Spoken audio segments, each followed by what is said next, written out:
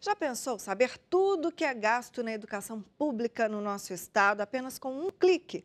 Pois é, o aplicativo do Tribunal de Contas de Minas permite a qualquer pessoa acompanhar o trabalho feito nas escolas municipais e estaduais. Quem vai falar sobre essa ferramenta tão importante é a repórter Manuela Borges. Manu, conta mais.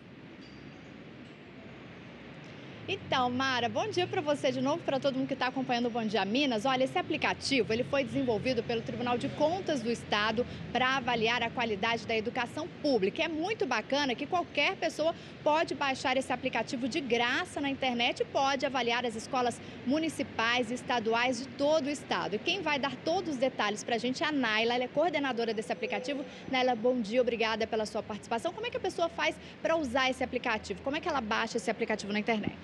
Bom, bom dia a todos. É só entrar na loja e colocar na ponta do lápis tá certo? Uma vez que o, o, cidadão baixa o aplicativo, ele preenche um cadastro, mas é importante falar que todos os dados dele permanecem no anonimato para os gestores escolares, sejam eles diretores, o prefeito da cidade, o secretário de educação. Uma vez que ele baixa o, o aplicativo, ele tem três possibilidades. Ele pode responder a questionários, não é? Que são perguntas simples, diretas, que vão não é? que vão orientar, que vão dar uma sinalização do perfil daquela escola para os gestores, mas além disso, ele pode fazer relatos e ele pode acompanhar as soluções.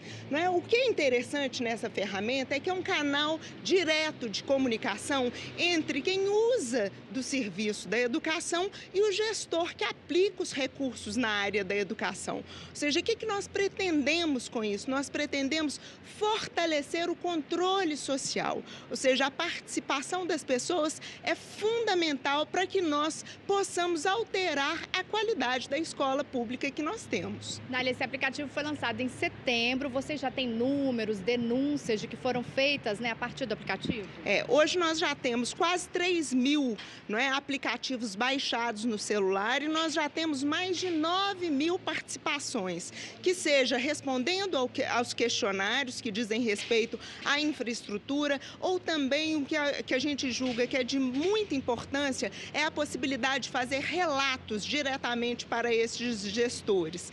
Nestes relatos, a pessoa pode, inclusive, é, fotografar e enviar uma fotografia da situação relatada para, para o dirigente.